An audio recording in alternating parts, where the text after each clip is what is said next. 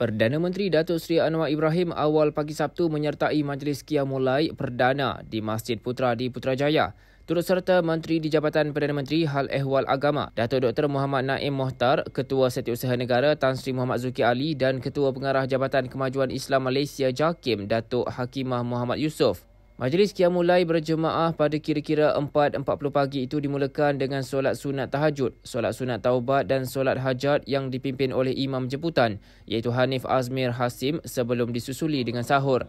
Pengisian acara seterusnya yang turut disertai Anwar dan jemaah lain ialah solat subuh berjemaah yang diimamkan oleh imam jemputan iaitu Ahmad Fairuz Nazaruddin dan tausiah subuh yang disampaikan oleh pengarah bahagian dasar dan strategi Pusat Governance, Integriti dan Anti Rasuah Nasional Muhammad Gunawan Cik Abu Aziz. Majlis Qiyamulai Perdana Anjuran Jakim itu dihadiri kira-kira 2,000 jemaah yang memanfaatkan baki 10 malam terakhir Ramadan yang suci dan penuh keberkatan untuk beribadah.